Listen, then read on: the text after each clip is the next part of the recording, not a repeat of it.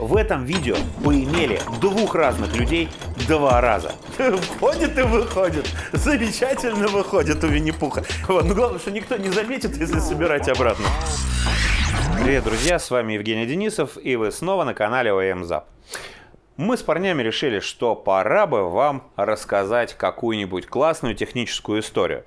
Потому что мы немножко увлеклись. Мы рассказали вам историю компании Hyundai, рассказали о том, ну, это официальная история. На самом деле, скорее всего, все было немножечко не так. И, скорее всего, просто маленький парень из деревни был намного шустрее, чем всем кажется, и намного проворнее.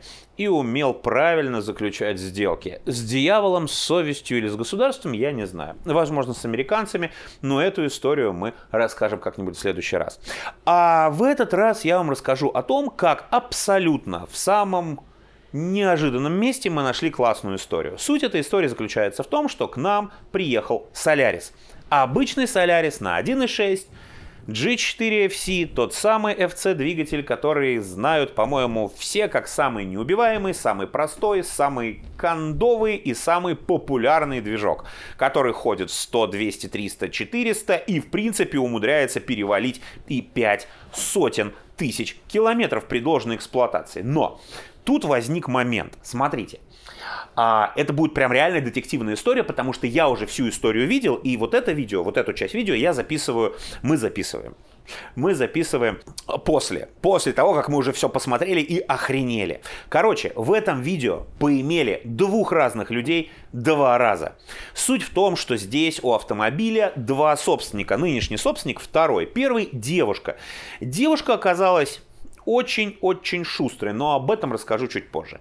Человек купил машину, второй хозяин, купил машину на пробеге примерно 60-70 тысяч, вот, катался порядка 40 тысяч на этой машине в течение трех или четырех лет. Трех лет? Четырех? Ты не помнишь? Трех или четырех? Трех лет. Вот, в течение трех лет катался и, в принципе, горя не знал. Ну, точнее, не сильно за этим горем наблюдал. Вот.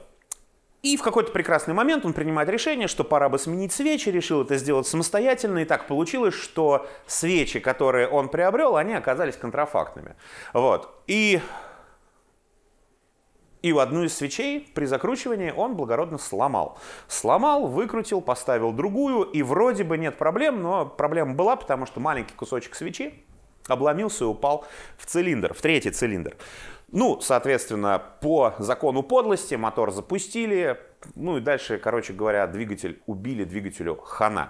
Вот. И, в принципе, история достаточно простая, понятна причина, понятно следствие, но вся эта история вылилась ну прямо в детективную. Мы сейчас вам покажем моменты, как мы разбирали этот двигатель, шаг за шагом, в попытке понять, какого черта с ним происходит. Многие из вас часто жаловались на звук, просили, чтобы было меньше фонового шума.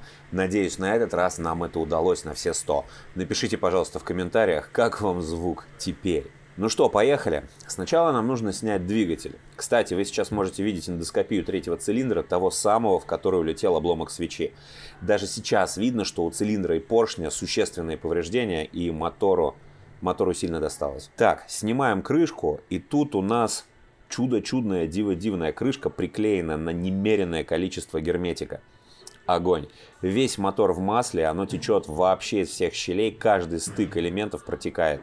В итоге двигатель просто покрыт ковром из масла и грязи. Снимаем крышку ГРМ. У G4FC тут находится масляный насос. И это не родной герметик. Родной он такой серо-белый. И вот тут вокруг колец герметика не должно быть. Тут должны быть резинки. Но, судя по всему, двигатель разбирали. Башмаки, башмаки не меняли, цепь родная. Что они тут делали, непонятно. Есть ощущение, что снимали голову. Но зачем? Сбрасываем бугеля, смотрим расперед валы. На валах есть износ. Ну, прям какой-то прям жести такой нет. Износ великоват для 100 тысяч километров, но... Поехали дальше. Откручиваем ГПЦ. Болты не растянуты. Вроде пока все, ну, более-менее нормально. Слушайте, ну ничего так двигатель собрали, судя по тому, что на двух болтах куски резьбы герметика, эти рукоблуды, которые лазили в этот двигатель до нас, сорвали резьбу. Причем сделали это дважды. Решили, видимо, что восстанавливать резьбу дело так себе, неблагодарное, поэтому просто залили все герметиком, наживили болты на 1-2 витка и норм. Моментный ключ? Не, не слышали. Прокладка тут тоже нифига не оригинальная, она даже не приклеилась к блоку. И удивительно, да, что у нас мотор весь в масле? Непонятно. Ладно, копаем дальше. В третьем цилиндре места живого вообще нет. Его весь подрало, множественные следы ударов, металлический мусор и куски поршня молотило поршнем. Короче, жесть. Что интересно, после истории со свечой, после того, как кусок упал в двигатель, на этом двигателе не катали каких-то бешеных расстояний. Он почти сразу стал издавать умирающие звуки, и его остановили.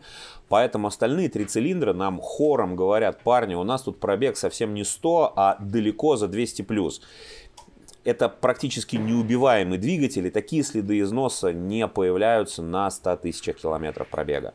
Так, теперь снимаем поддон, который, судя по всему, тоже намертво приклеен. Тут все в продуктах износа, стружка, в маслоприемнике застряло что-то, и этого там явно быть не должно. Это здоровенный кусок чего-то металлического, что никак не получается идентифицировать как часть двигателя. Смотрим вкладыши. Вкладыши родные, есть износ, но снова нет ни одной замененной детали. Смотрим колено и на первый взгляд вроде бы, вроде бы все ок. Поршни тоже все родные. Вопрос остается, что делалось-то в двигателе, зачем его разбирали? Девушка, которая была первым владельцем автомобиля, таким образом пыталась изучить теорию ДВС. Зачем плита снималась, зачем все это делалось и почему все детали все равно родные? На цилиндрах сделали фаску, вероятно, для того, чтобы легче было закинуть туда поршни. Но она сделана так, будто ее делали ночью без света и напильником. Мы грешным делом подумали, может его гильзанули, но тоже нет. Двигатель просто кто-то полностью разобрал, а затем вот так вот похабно собрал его обратно. Так, смотрим, что у нас с масляным насосом. Весь в задирах, весь подранный. Здесь проводишь пальцем, и там прям борозды глубокие. Выяснилось, что оказывается этому двигателю реально 200 плюс, не меньше. То есть, соответственно, либо девушка, либо какие-то там друзья девушки скрутили перед продажей пробег. Так как машинка эксплуатировалась девчонка аккуратно, машинка аккуратненькая, вся такая не бит, не крашен. Вот. И замечательно, может быть, какая-нибудь у девочки там пушистенькая штучка была на руле, потому что руль реально живой. Вот. И, соответственно, получается что? Человек смотрит, новая, ну, практически новая машина, 100 тысяч для Соляриса, это вообще не пробег. Беру.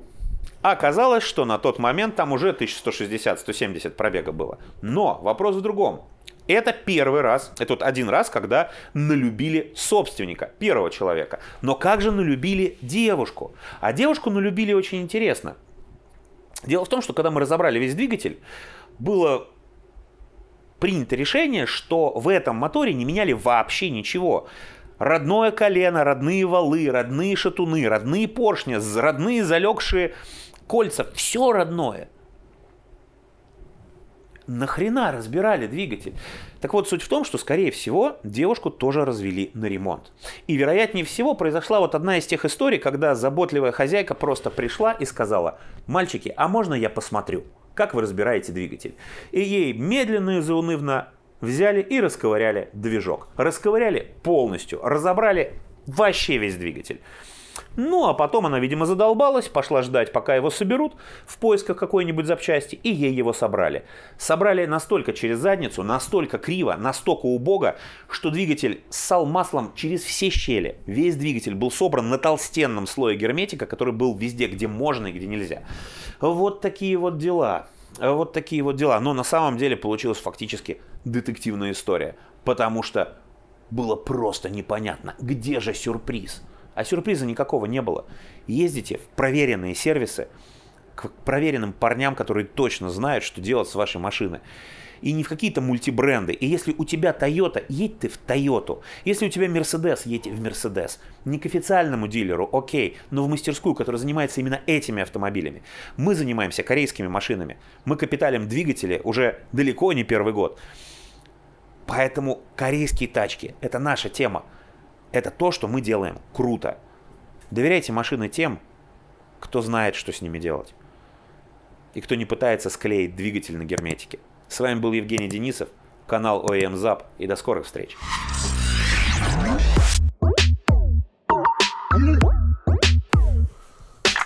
говно. А, некуда совать. Ну, видишь, совалка закончилась. Сюда можно засунуть.